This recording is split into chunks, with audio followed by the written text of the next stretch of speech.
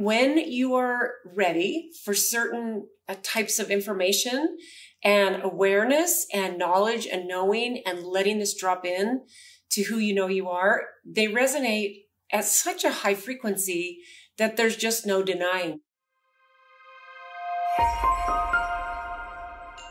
So the search is on for who we truly are.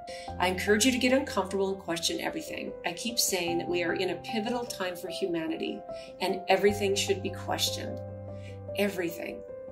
And I, I say this because I truly, truly believe this. I believe that we are in pivotal times. And you might hear something that's uncomfortable that shakes your foundation of, of your belief systems.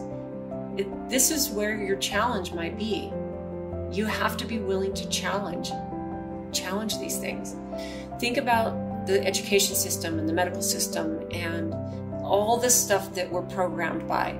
It's mostly left brain thinking. The right brain is creativity and uh, a lot more you know it's artistic it's creative flow and the goal is to bridge the two our left brain and our right brain, instead of just knocking out the right brain with everything that we're programmed with our left brain, but to bring that right brain in. And this is where things like art and music and creative expression lives, writing and maybe poetry, or this is where creativity comes in.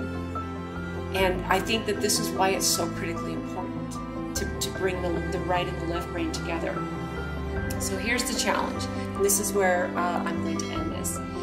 The challenge is to don't watch or read anything, any channels, any YouTube, any Rumble, any anything that you typically consume this week.